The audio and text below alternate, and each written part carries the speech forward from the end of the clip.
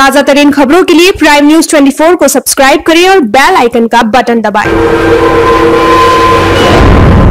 नमस्कार, मैं खुशबू और आप देख रहे हैं प्राइम न्यूज़ 24 एटा पुलिस ने आज मुठभेड़ के दौरान चार साथी लुटेरों को गिरफ़्तार किया है। पुलिस ने भारी मात्रा में लूट का सामान व टेंपो एवं अवैध असलाह बरामद किए हैं। वहीं पुलिस ने इन चारों आरोपियों के कब्जे से माल बरामद कर इन्हें जेल भेज दिया है। आपको बता दें कि एटा पुलिस को मुखबिर की सूचना के बाद एक बड़ी सफलता हाथ लगी है और पुलिस ने मुठभेड़ के दौरान इन चार साथी लुटेरों को गिरफ़्तार किया है। साथी लुटेरों का पूर्व में ही लंबा चौड़ा आपराधिक इतिहास रहा है। हालाँकि चारों लुटेरों से खेतों में रखे पानी खींचने वाले इंजन और लूटे गए टेंपो एवं अवैध असलहे भी बरामद किए गए हैं। वहीं जब हमने एटा एसएसपी से बात की तो उन्होंने पूरे मामले की जानकारी देते हुए एटा एसएसपी सुनील कुमार सिंह ने बताया कि चार साथी लुटेरों को मुठभेड़ के दौरान अरेस्ट किया गया है और चारों बदमाशों से लूट के सामान भी भारी मात्रा में रिकवरी भी हुई है।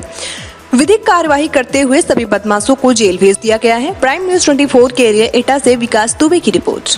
एटा की थाना बागवाला पुलिस द्वारा चेकिंग के दौरान चार बदमाशों को गिरफ़्तार किया गया है पुलिस मुठभेड़ के दौरान, जिनके कब्जे से दो चोरी के इंजन बरामद किए गए हैं किसानों के और इनके पास से असलाह कारतूस भी बरामद हुआ है।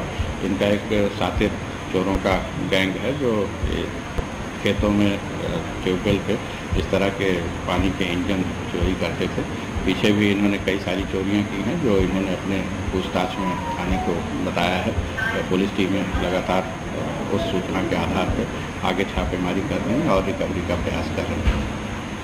इस मामले में चूँकि इनका संगठित गिरोह है तो इन पर गैंगस्टर एक्ट के अंतर्गत भी कार्रवाई प्रस्तावित की जा रही है।